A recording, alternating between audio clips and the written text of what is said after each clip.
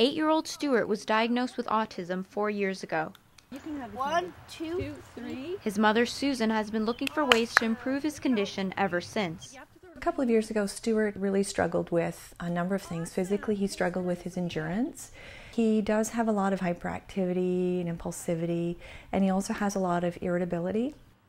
Over the years, Stuart's taken a number of different medications to treat his symptoms, but his mother says that many of them weren't effective. Jada Pinkett Smith, the David Schwimmer, and um, Marty. I oh, come and sit down. I take the computer. No, we're going to sit down and then we can look at all them. When he gets upset it um, you know, if things are changing, anything unexpected, he has a lot of anxiety, and that's where I really don't want to use anti anxiety medication because he is so young. So I'm hoping to use more natural approaches, and one of those um, treatment approaches would be yoga to really help him calm himself down on his own. Can you do that, Stuart? Can you stretch your legs? Stuart, like many children with autism, has a short attention span. The ability to focus on a task can help a child tremendously, and this is an area where yoga has made a difference for Stuart. Going forward. Stuart has improved since uh, he first started yoga. He actually took yoga with me last year as well as this year. And since the beginning, he has really improved in his ability to relax and to really come into the space and create a little bit of focus. He doesn't pay a lot of attention to me, but mom's there for him so that she can kind of draw his attention in and get him to participate in the class. There are moments though when I'm down in a small pose and Stuart likes those small, teeny tiny little poses, and I look out and he's staring at me, and there is a connection, and you can really feel that he is kind of tuning in to, to who I am. And if, if you can hold that for a few moments, it's the most beautiful feeling. Nice.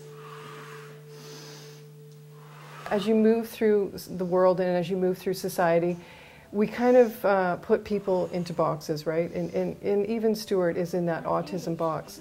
It doesn't create any limitations. Only society creates those limitations. Good, awesome. Thank you, Stuart. So, really, he is as able as every other person to, to participate in whatever his heart desires. Dr. Catherine Pryor works at the Thames Valley Children's Centre in London. She says that yoga as a form of therapy is an emerging field of interest.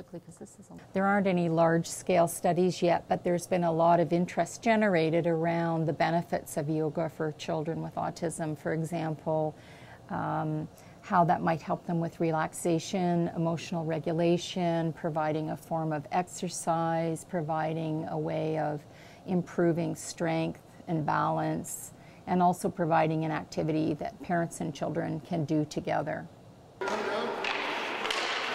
On the ice is another place where Stuart's been making gradual improvements.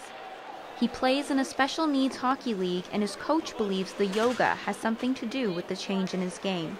Because of the yoga, Stuart's balance is incredible now. Stuart does not fall down on the ice like he did when he first started out. Stuart would always be off in the corner, not even knowing where the puck was. And now I find that Stuart is a little more focused on, on chasing the puck and going after it. He's more aware of the puck. Uh, he likes to hold two hands on the stick now, don't you, Stuart? Yes. Two hands on the stick, right? Good boy. With the progress Stuart's made so far, his mother believes his personality and determination will help him reach his goals he's a happy-go-lucky guy. He, um, he just approaches everything with an open heart. Everybody seems to love Stuart. He's just one of those kids you just want to hug.